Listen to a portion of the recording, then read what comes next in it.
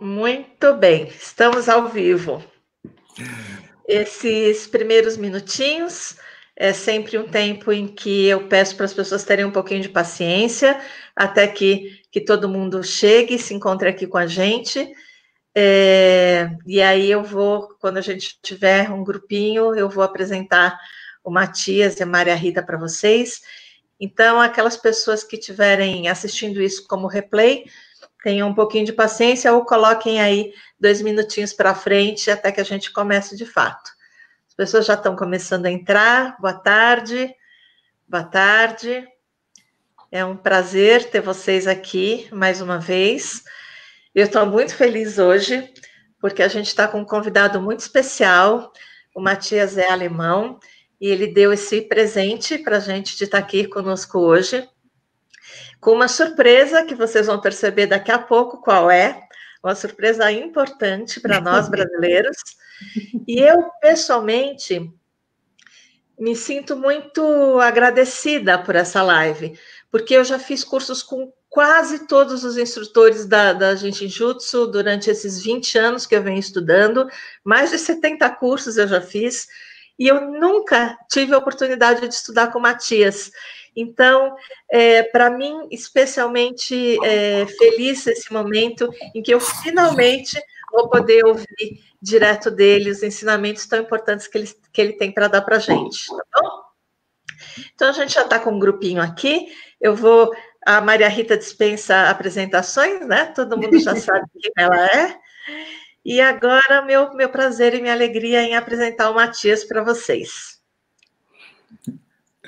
Muito bom, muito boa tarde, toda a gente no Brasil, todos que nos estão a escutar no, ao vivo e as pessoas também que vão escutar isso uh, mais tarde no replay. É um prazer dar uma aulinha por uma vez em português, coisa que tenho a costume de fazer algumas vezes em Portugal, com uma pequena regularidade. E as minhas duas no Brasil foram extraordinárias, com uma gente muito amável e que tenho aqui no meu coração. Então, muito, muito obrigado, Erika, do convite, Maria Rita, por estiveres aqui. E, bom. É, uma curiosidade que eu tenho, eu sei que você fala sete línguas, né? E hum. como é que o português foi uma das que você escolheu? O português foi o último, o último idioma, a última língua que aprendi, e isso foi a, a descobrir o Portugal com o meu primeiro convite a dar um curso de cinco dias em Lisboa, em 2010. Eu, a, a ideia era de eu dar o curso em espanhol, porque em Portugal toda a gente percebe mais ou menos bem, mas bastante bem, o espanhol. E namorei-me do país e, e, o idioma era muito, particu muito particular no início, porque tenho a costume de aprender com bastante facilidade os idiomas, porque parece que tenho uma orelha para, para absorver o sotaque e tudo isso. E durante as três primeiras semanas de tentar aprender isso com um livro e gravações, não entrou na, nas minhas porque o já falando francês quase como o alemão e o inglês, italiano o suficiente para ter dado várias aulas e o espanhol eh, tendo dado aulas bastante recentemente. Eu pensei que mais um idioma latino era fácil, mas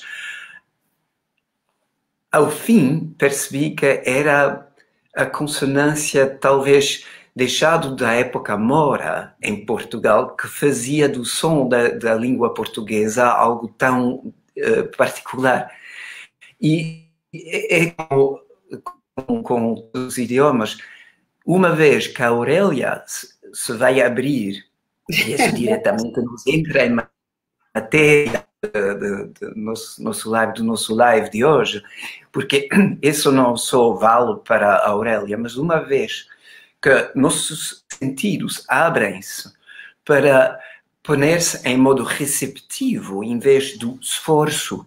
O esforço para, para perceber, etc., uh, abre-se dentro de, no, de, de, nós e há nós um, um, mundo que é um mundo vibrata, vibratório de uma outra maneira de ser.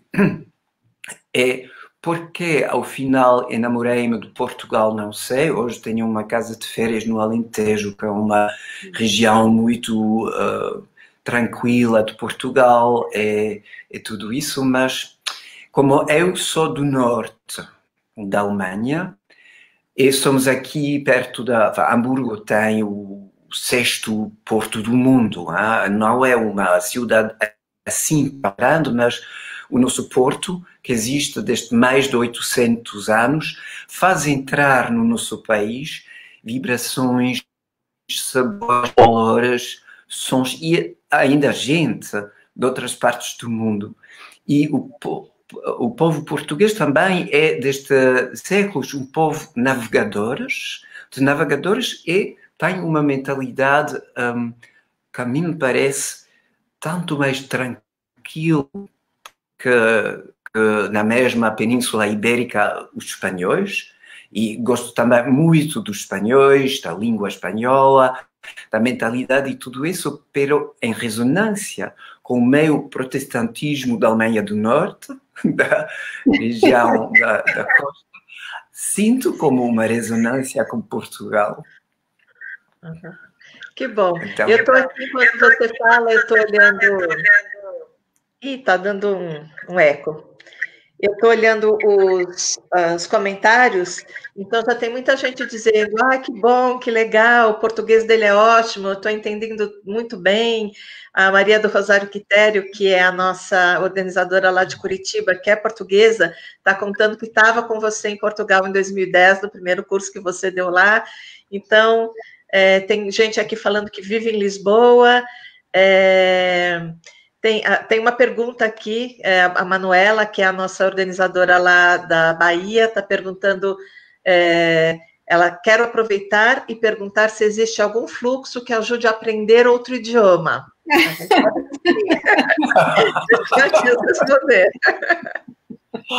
Então, uma coisa muito importante de perceber é que eu não tenho nenhum mérito particular em ter aprendido os idiomas. São coisas que são eh, rápidos e fáceis. Então, eu não tenho conselho de como a gente pode fazer se não tiver esse tipo de facilidade.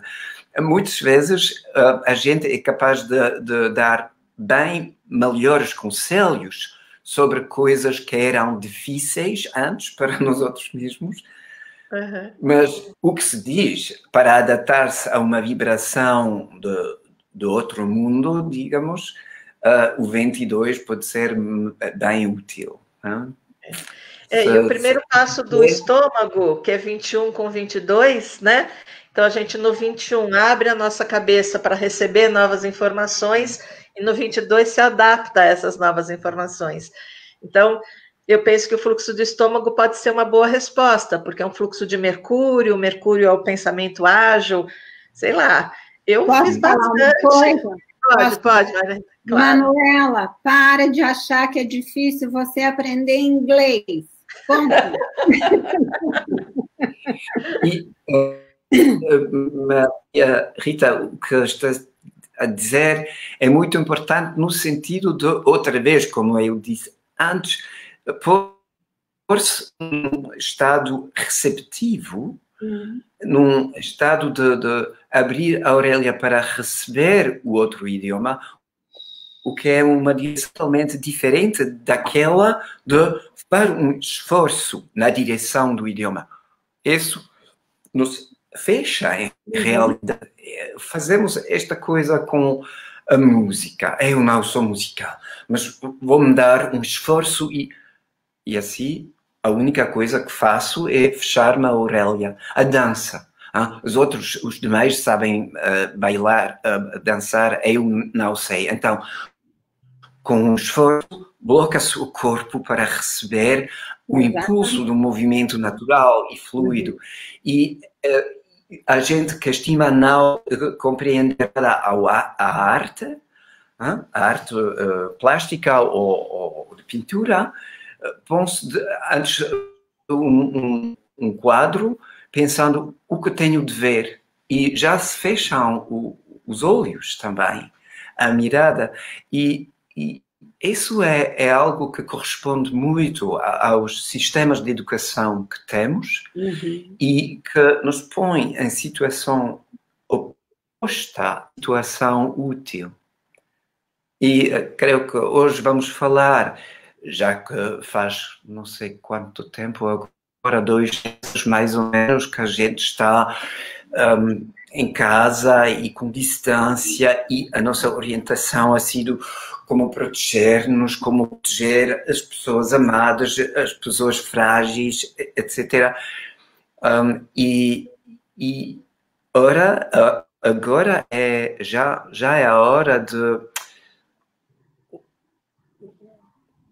voltar a, a aprender como abordar, como do nosso lado pôr-nos outra vez em modo receptivo em vez de defensivo e como praticar contacto, uma qualidade de contacto num período quando a abstinência do lado do contacto físico parece indicado, não é? Uhum. Então, para estabelecer um contato entre mim e o mundo, eu preciso absolutamente de deste, deste, deste estado receptivo, deste estado sem esforço. É claro, em Jinshinjutsu falamos muitas vezes de realidade sem esforço, eh, eh, são estas pequenas coisas que gostamos de dizer antes de voltar a esforçar-nos, a apontar-nos todo à realidade sem esforço, quando teria terei uh, aprendido tudo isso de fora, uhum. não? e depois vou ter, enfin, uh, ter o, o, dedo uh, que corresponde a, ao esforço. Sim. Então, deixar de pensar que é difícil e poner-se num estado receptivo que corresponde ao dese uh, desejo, desidério, desire? Desejo. Hum? Desejo. Desejo. Desejo. Desejo. Ah, o desejo de, sim, poner-se num estado receptivo que corresponde ao, ao meu próprio desejo de deixar-me tocar por o sonho de uma língua que ainda não conheço ou não conheço perfeitamente. Crianças, todos sabemos fazer isso. Descobrimos queria... de facto o mundo. Como? deu uma travadinha aqui, a gente falou ao mesmo tempo, desculpe. Hum, é, Recém-nascidos, todos nos encontramos num mundo desconhecido ainda, é? Uhum. E temos recebido dentro da, da, barriga da mãe vibrações já, mas é muito diferente, vibrações incluso do, do, do, do idioma, dos idiomas que se falavam à volta, mas mas essencialmente estamos à, à descoberta de, do mundo que ainda não conhecemos e, e, e no, no, primeiro tempo a nossa maneira de proceder, e em Jinshinjutsu isso é a idade de 15 anos de primeira profundidade e os primeiros meses e, e um ou dois anos de, de aterragem, aterrissagem no Brasil, aterragem no Portugal. É, é, ah, estou aqui, encontro no centro do mundo que ainda não conheço e que vou descobrir. E depois o mundo carga-se de, de dar-me conselhos de como abordar o mundo, como não abordá-lo, etc, etc. Pero ao início, uh, este estado de, de, de, estar aberto para descobrir, receber, dar-me conta que, como diz a Mary no livro 3 da autoajuda, não é? Nunca antes vivi este momento presente e nunca mais vou voltar a, a vivê-lo. É, como filosofia, como ideia mental, podemos aceitar. É, não é tanto muito mais difícil tam, também de deixar entrar isso, de me deixar uh, penetrar da realidade vivida disso. A realidade não sei. Que seria mais apropriado que um período como este para dar-se conta que não sabemos. Em realidade, nunca sabemos. Nenhum, nenhum sabe quantos dias mais vai viver, quantos segundos mais, quantos anos mais, quantas vidas mais. Não sabemos estas coisas. Nos enamoramos das nossas especulações sobre o tema gostamos de imaginar que temos algum controle sobre isso. E uma vez que, comece, que, que começamos a perceber a qualidade de vida que se abre a nós quando realmente a vivimos de um ponto de vista de descoberta e de receptividade, eh, qualquer situação revela-se uma situação rica em, em aprendizagem. Eu estou muito encantada com tudo que você está falando e, e com muita vontade de fazer uma prática guiada por você. Mas antes que a gente comece a prática, eu queria te fazer mais uma pergunta, outra curiosidade. Como é que foi seu encontro com a, com a Mary? Se você tem alguma coisa para contar para a gente dessa tua experiência de ter estudado diretamente com ela. Uhum.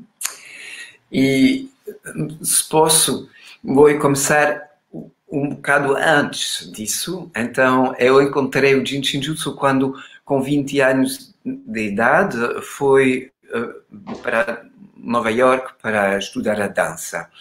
E eh, o meu encontro, e isso é importante, com o Jinshinjutsu não era uh, que tive algum problema, problema de físico ou outro, um, mas a minha professora mais importante, Eileen Pavlov, introduziu o Jinshinjutsu e mais tarde eu sabia que era unicamente a prática do livro 1 um de autoajuda da Mary.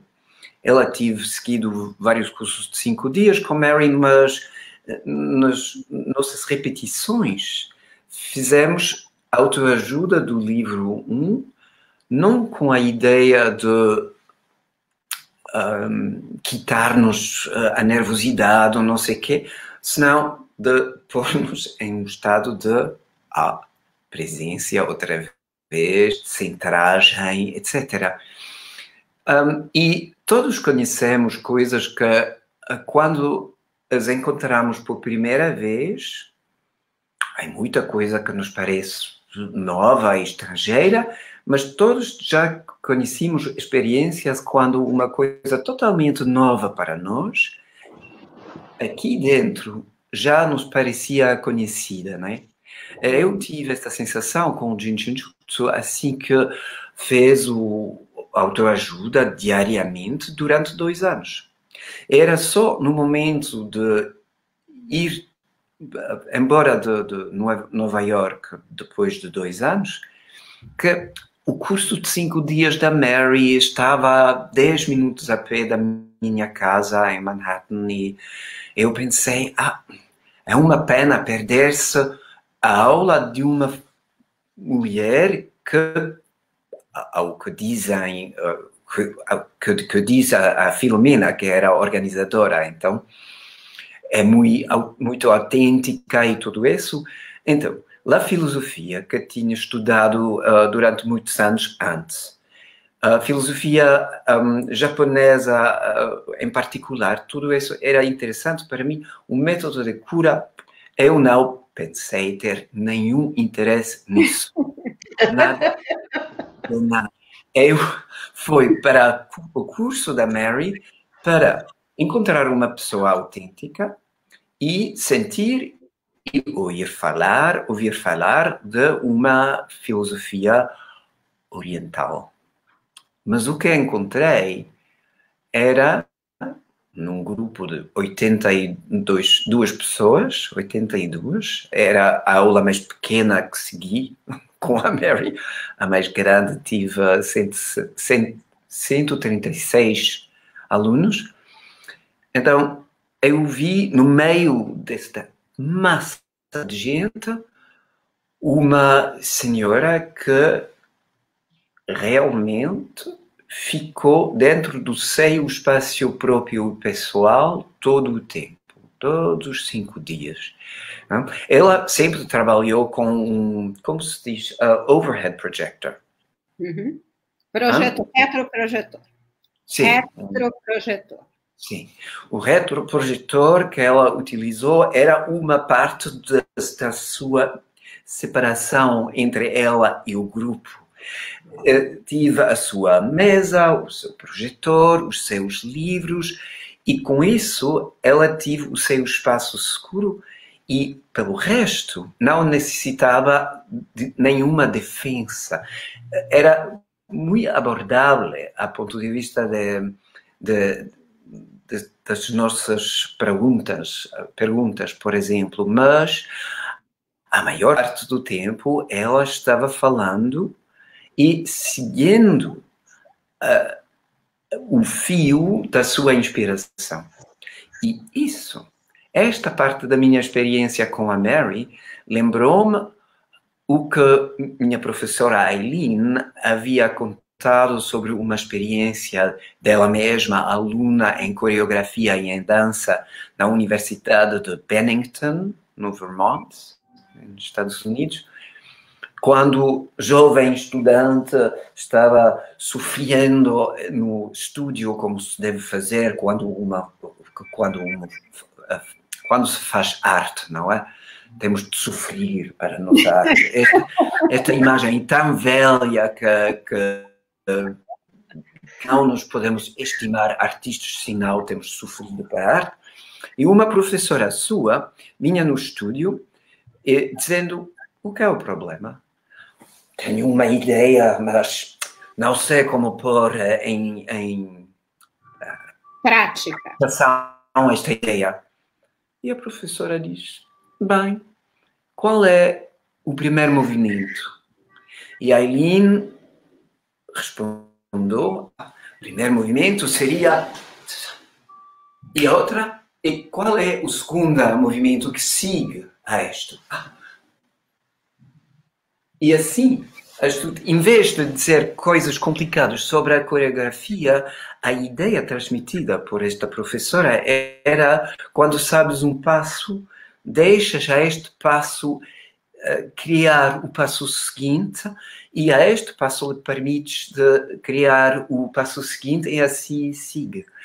Esta havia alunos, mais em Alemanha talvez que os, em Estados Unidos, mas eh, incluso em Estados Unidos havia pessoas que achavam que a Mary não tinha estrutura. Dizer que a Mary não tem estrutura é dizer que os rios também não têm. A água, quando flui, não tem estrutura. É verdade que a água não procede em cubos. O espírito é, pelo menos, assim tão fluido com a água, não?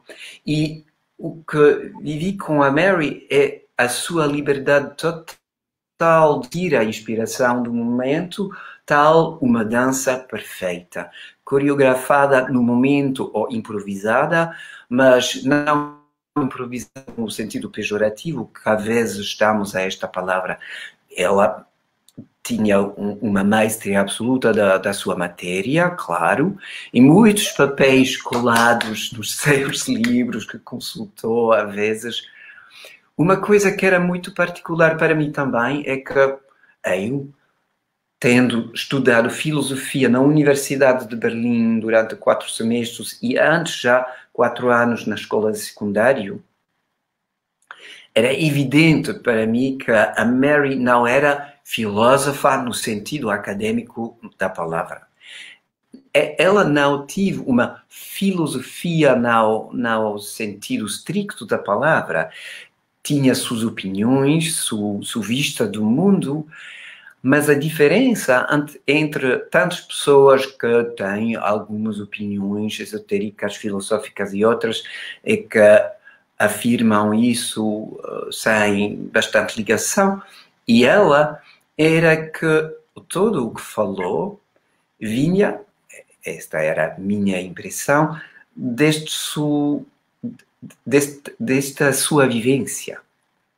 Então, as frases nunca eram.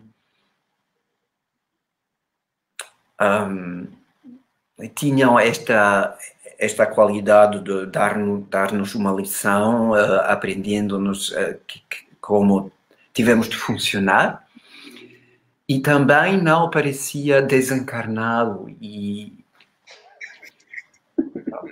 era muito, muito concreto, muito tive, como dizer, carne, uma filosofia, uma vista do mundo que tive carne. E assim ela podia citar algo que tive lido no Reader's Digest, não é uma publicação nem filosófica, não, científica, e dar profundidade e sentido a isso.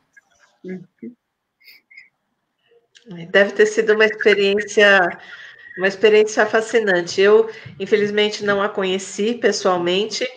É, a primeira vez que eu fui para Scottsdale, ela já não estava mais aqui entre nós, mas é, ouvi falar dela através das pessoas que tiveram essa experiência enche a nossa alma de conforto e o coração de alegria. Muito obrigada por compartilhar isso com a gente.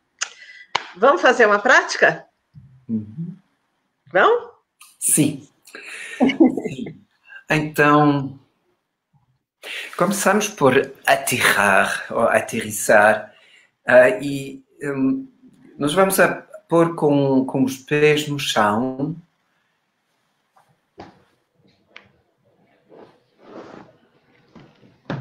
Vamos dirigir a nossa atenção à planta do pé, cada lado e contatar realmente o chão.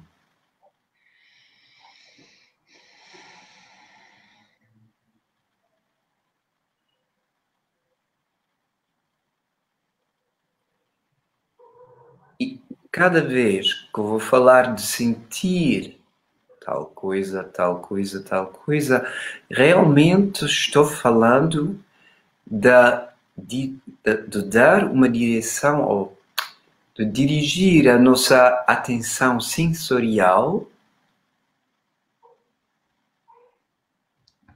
e não de visualizar. Sentir os pés no chão não tem nada a ver com visualizar os pés em qualquer lugar que seja, senão sentir realmente de abordar o chão com o meu sentido do toque estendido do pé em direção ao chão.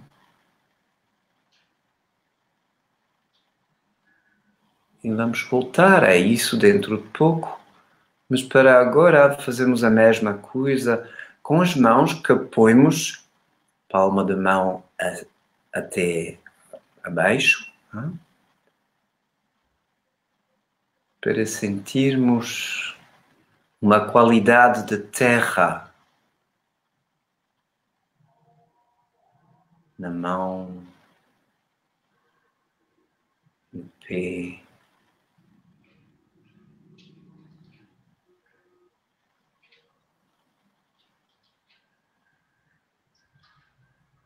Sem esquecer-nos da base, parte do teu corpo que está sentado. A parte do teu corpo que toca. A cadeira. É nesta base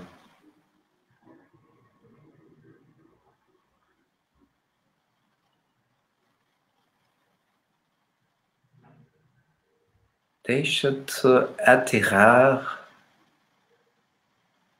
aterrissar com cada exalação. cada expiração dá um pouco mais peso natural a cada célula do teu corpo.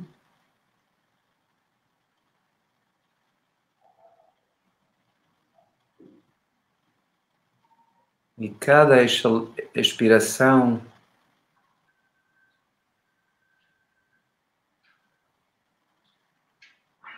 autoriza a mão, o pé, a base, a ocuparem todo o seu espaço natural. Tu, mentre exalas, mentre expiras, tu pões a ocupar com cada ciclo respiratório mais espaço dentro do teu corpo. E em cada célula do teu corpo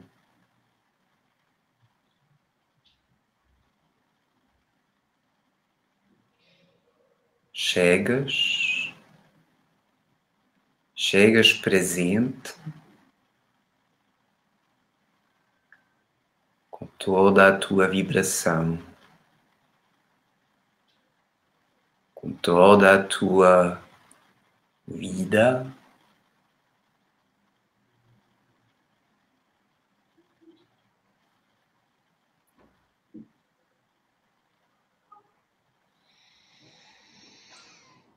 Seguindo mais algumas expirações da cabeça até aos pés.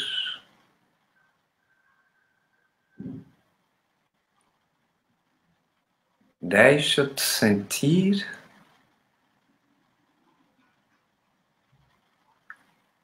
uma extensão do pé em direção do chão e da terra.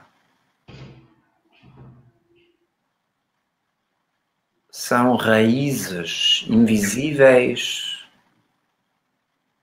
estão a crescer em direção ao centro da Terra. Estas raízes em direção ao centro da Terra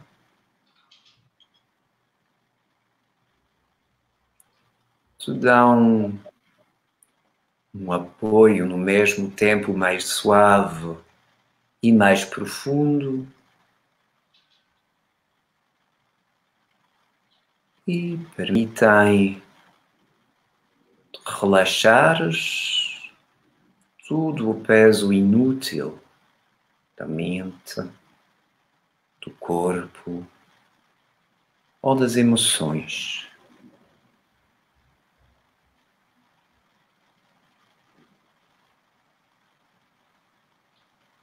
Assim,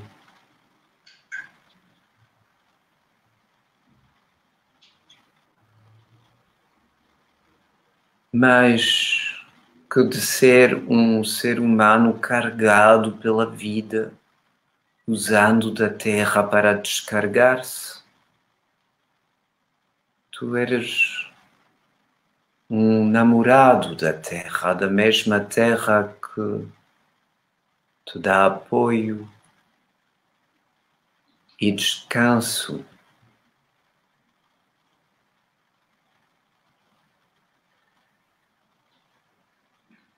Neste contato amoroso com a Terra, vais sentir como a Terra parece responder, enviando alguma coisa, alguma vibração em direção aos teus pés planta do pé, de cada pé está tocado por uma vibração que sobe nela, subindo dentro do teu corpo, há uma energia do renovo, a energia ascendente.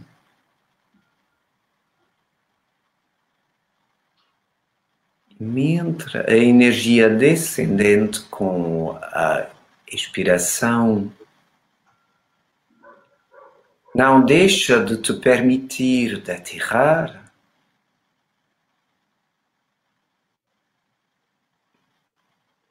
a inspiração e a energia que sobe com a inspiração não deixa de te dar mais espaço, mais permeabilidade. E desperta em ti uma curiosidade, uma curiosidade que é ainda outra coisa a abordagem enamorada da terra, namorado, namorada da terra, já estás em contato com a dimensão do vivo no mundo denso da matéria.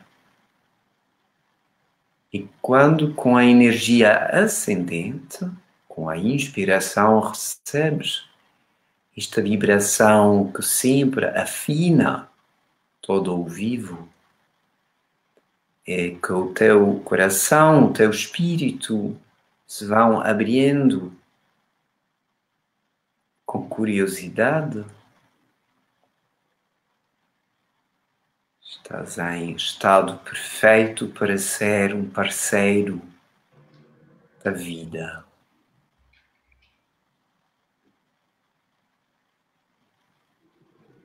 E neste estado, presença e de receptividade, de curiosidade.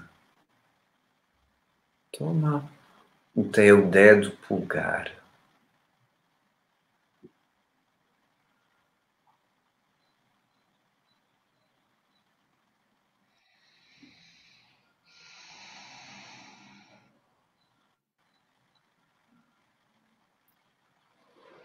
Dedo pulgar.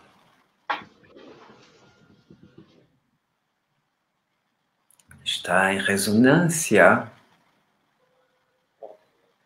com a lembrança profunda da tua, do teu ser,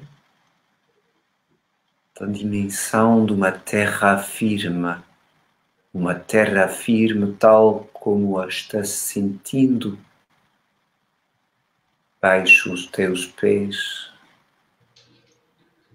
Estás a sentir esta terra que te dá apoio e cada vez que trabalhas com o teu dedo pulgar,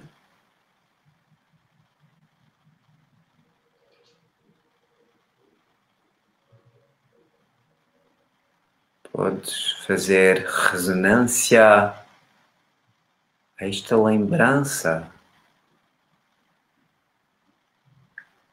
arcaica inscrita dentro de todos os seres que na vida, que no universo, sempre há coisas assim tão firmes como o chão que nos dão apoio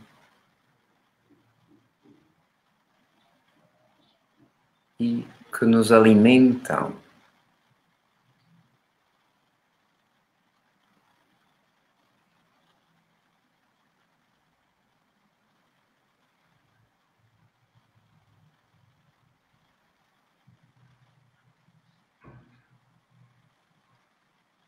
Muda pelo dedo, dedo pulgar da outra mão.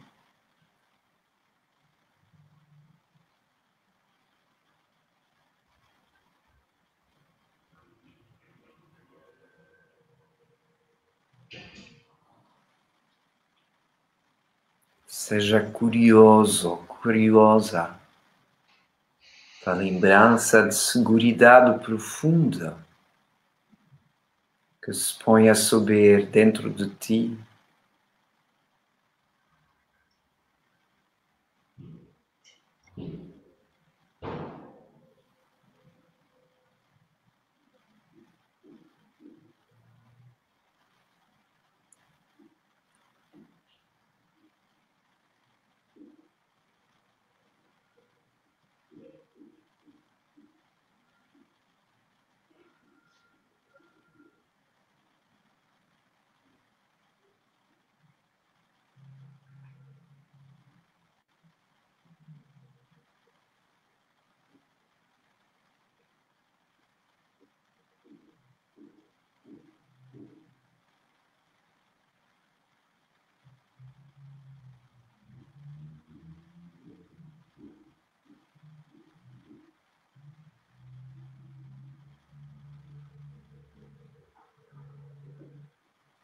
Na história da criação do mundo contada na Bíblia, durante seis dos sete dias, eh, dia, dias da criação, a última frase é e ele vi que era bom. Estes momentos de primeira profundidade da tua vida são os momentos quando tu és quem diz: Vejo que é bom.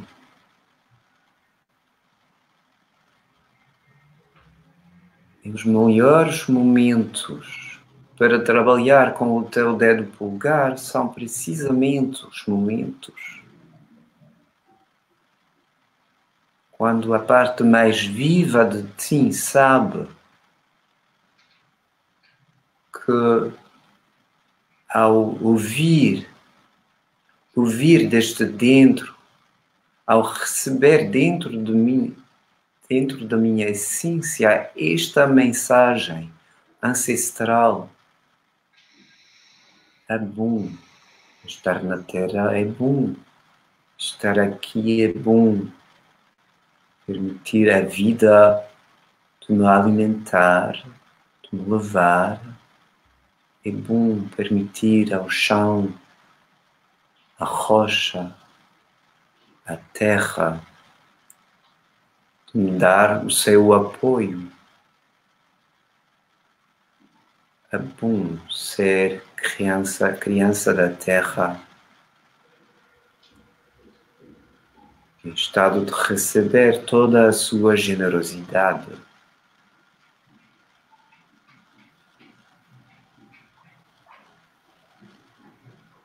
Toma o teu dedo indicador. E entre exalas, entre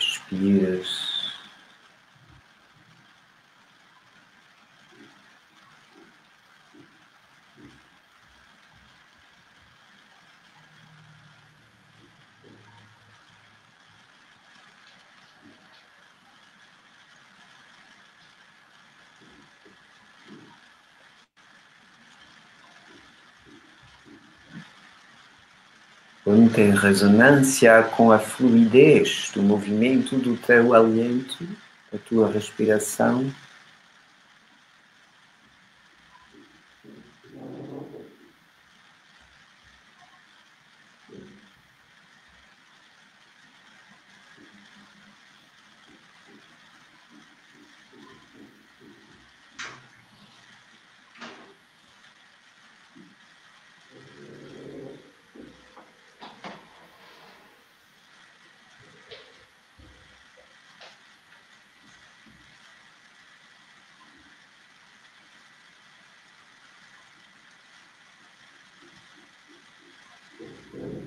em vez de enfocar-te em qualquer deficiência que talvez associas ao dedo indicador, deixe-te lembrar-te de uma mensagem bem mais antiga, aquela do dedo navegador o dedo indicando o caminho que seguramente existe, o dedo que indica o mundo novo.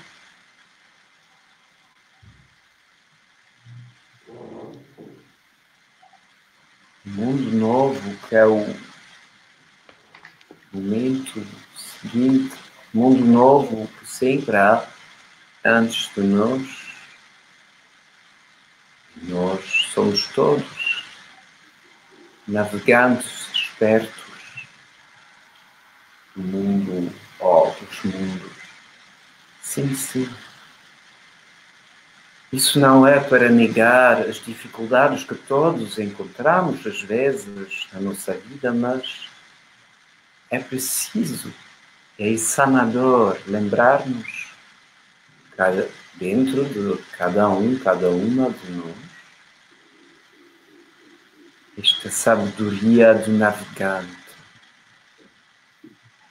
esta sabedoria hermética ou mercuriana do caminho, que seguramente existe, e fluidos como a água, é com a mesma determinação a água que, apesar de fazer todos os meandros necessários, nunca deixa de saber que ao fim vai chegar ao mar, vai chegar ao oceano. Nada, nem nada, nenhum, nenhuma circunstância pode reter, pode impedir a água chegar no fim, no oceano, na unidade. Muda para o outro dedo indicador.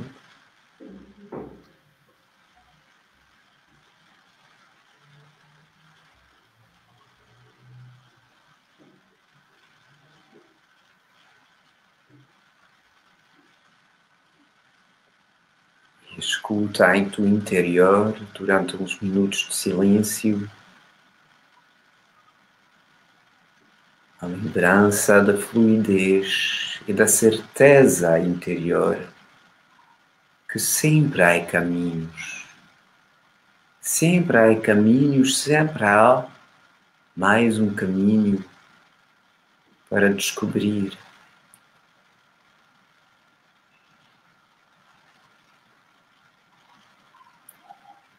Mas a barragem é grande, é mais a força da água aumenta.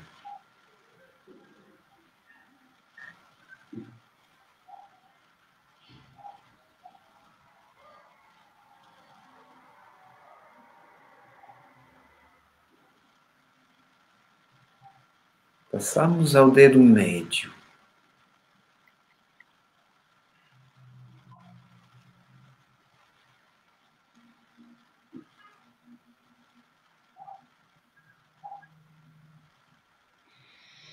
Contatar esta lembrança tão deliciosa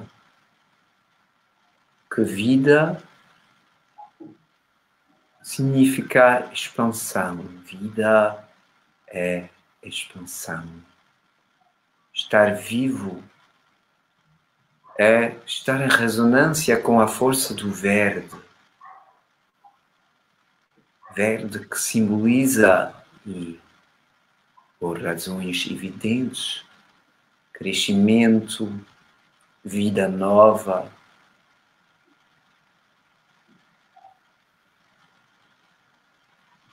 Parte central de ti é de todos os seres vivos. A parte central vinha viver esta experiência encarnada para sentir a que ponto vida é expansão, abundância de possibilidades, abundância de sonhos novos, visões.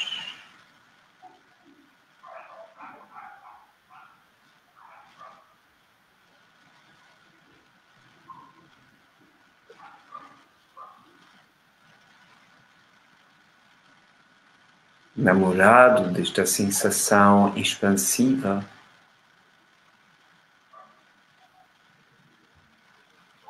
Tens a liberdade absoluta de voltar a experimentar esta sensação dentro de ti em qualquer momento. A parte namorada do nosso ser não é a mesma que aquela parte que pretende ter razão. Ah, eu gostaria bem de expansão, mas vocês não me deixam. esta parte que tem justificar, que quer justificar as suas limites e dar a culpa às circunstâncias e ou às outras pessoas, não vive no mesmo mundo que a parte namorada que diz sei, quero viver a expansão primeiro, tenho que vivê-la e sempre posso vivê-la dentro de mim. Passamos por o de médio do outro lado.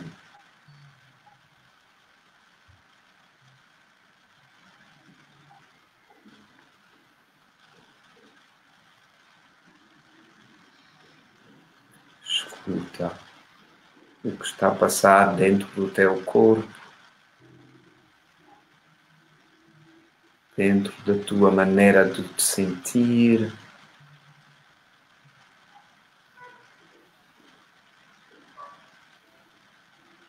quando permites a lembrança arcaica a expansão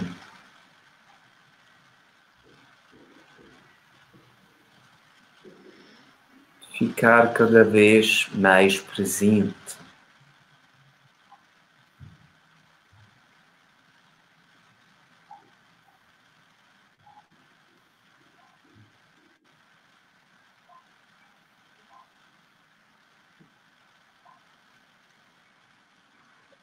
Passamos ao dedo anular.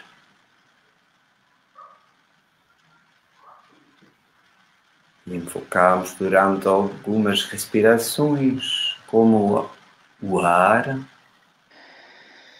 vai, vai saindo e entrando.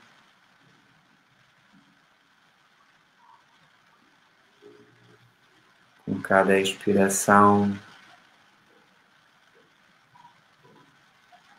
Deixo andar com cada inspiração, recebo conscientemente.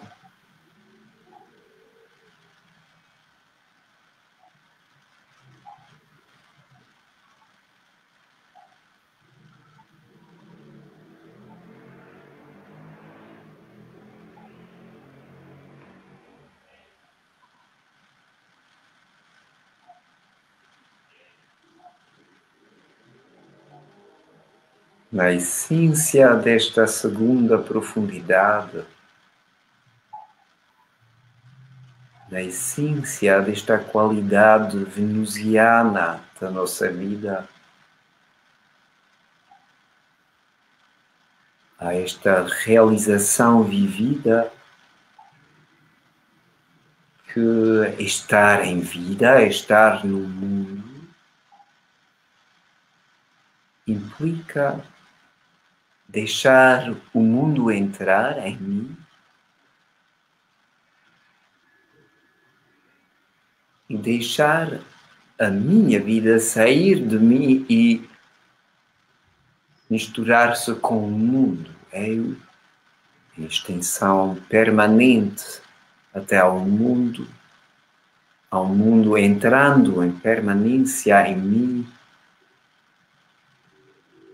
quando deixo entrar o mundo pelos sentidos, quando realmente não mantenho a distância com a mente, mas deixo entrar sensorialmente, quando realmente deixo entrar uma sensação, uma ideia, uma imagem, vou ficar mudado, modificado. A essência deste dedo, sem apego, mas também sem hesitação. deixo trabalhar pela vida e do meu lado trabalho a vida.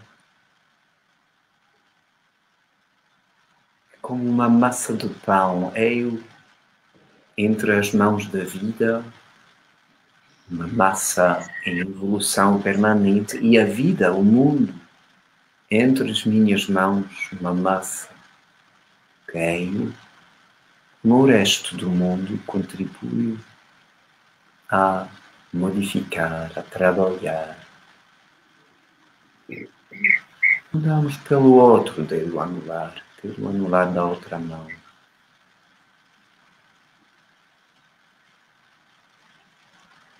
Entrando, saindo, entrando, saindo. A respiração me lembra que a energia, as impressões e a vida, a vitalidade fazem o mesmo, entram e saem, entram no meu espaço e saem novamente do meu espaço simples. Há uma minha mensagem que o mundo recebe sempre. Há uma sua mensagem que eu recebo.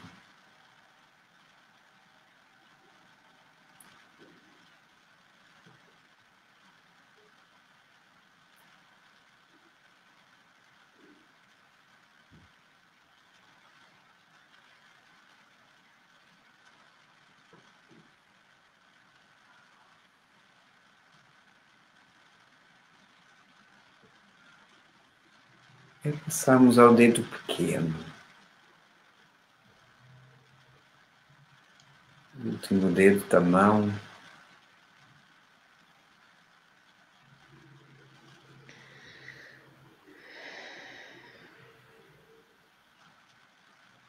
Para lembrar-nos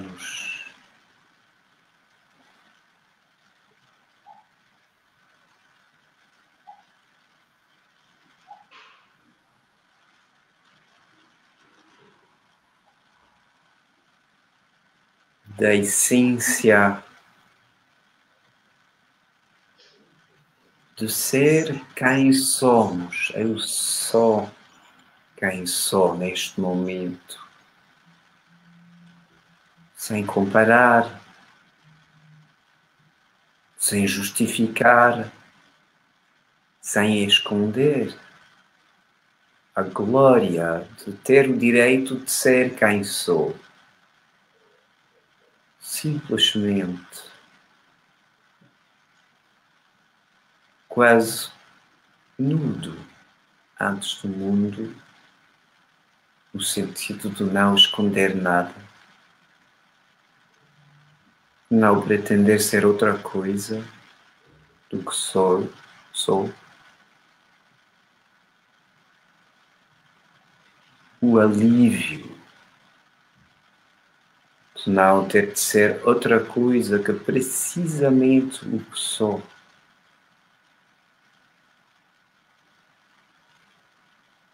Este alívio da dignidade humana de ser cada uma, cada um, exatamente o que somos neste momento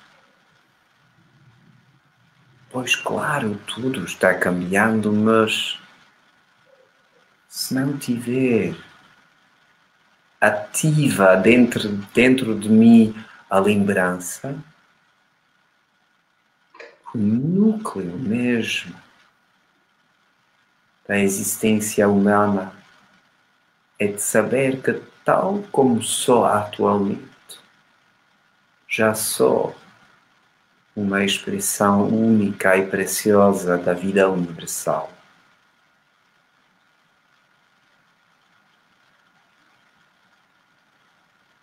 Essência, do título. Do livro 1 um de autoajuda da Mary, Jinshin Jutsu é. Ponto final arte do Criador através do ser humano compassivo é. Ponto final. Este título exprime que tu já, que eu já, que cada um já é Cada uma já é o Jin, o ser humano, através do que o Shin, a energia universal, a força do Criador ou a força criadora, pode circular e voar, crescer. Passamos ao outro dedo pequeno.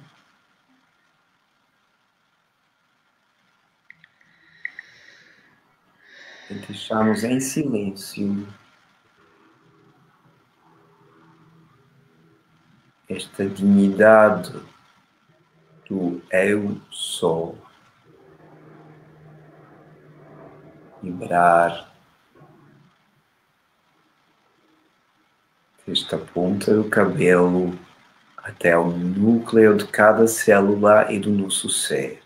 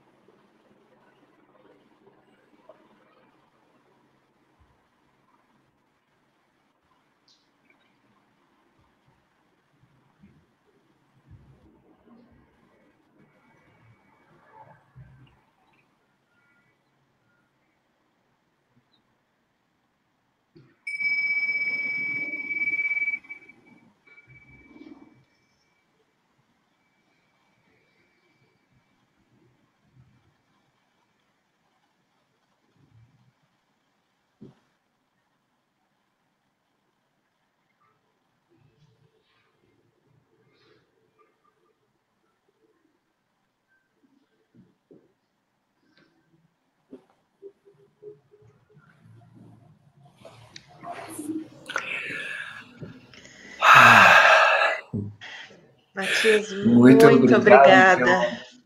Muito obrigada, que prática maravilhosa. É, leva a gente para um nível transcendente do que é, é, da ajuda que é possível a gente obter apenas segurando os nossos dedos. É uma prática maravilhosa, te agradeço muitíssimo. Suas palavras finais aqui para os nossos, os nossos alunos brasileiros, para as pessoas que estão ouvindo essa live, que mensagem mais você gostaria de deixar para a gente? Primeiro, uh, gostei uh, agradecer toda a gente para ter contribuído à magia deste momento, porque cada vez que aqui uma prática está diretamente ligada com a vibração da, da gente que está participando, então isto era um momento preciosamente co-criado. E a, a, a coisa que, que, que, acho mais importante neste período é de mais, mais um, esquecer-se uh, dos criadores que somos. É nossa curiosidade, nossa capacidade de aceitar de maneira produtiva e positiva que não sabemos e pois, como não sabemos, estamos em descoberta permanente. O mundo precisa mais que, que, que sempre de pessoas despertas, despertas num sentido simples de curiosidade, curiosidade em direção a si mesmo, mesmo e a, em direção ao, ao mundo. Muito obrigada. Então, eu, eu, espero que, que a gente possa repetir essa experiência de hoje, que foi maravilhosa. Daqui a algumas semanas, talvez você possa nos dar a, a outro presente como esse. Eu ficaria honradíssima se você aceitar e se você puder. A gente sabe que você tem uma agenda bem cheia, muitos webinários. Então, eu queria contar para vocês que estão assistindo que o Matias tem um monte de, de, já coisas feitas na página dele, várias lives em, em francês, em inglês, em alemão. Então, se você fala outras línguas, não perca a oportunidade de lá olhar na página dele do Facebook, que eu vou postar daqui a pouquinho aqui o endereço para vocês. para vocês poderem continuar bebendo desse manancial incrível que ele é e que ele dividiu aqui com a gente é, no dia de hoje. É, quero lembrá-los que na quinta-feira, por compromissos já assumidos anteriormente, a live vai ser às duas horas da tarde também, como hoje, tá bom?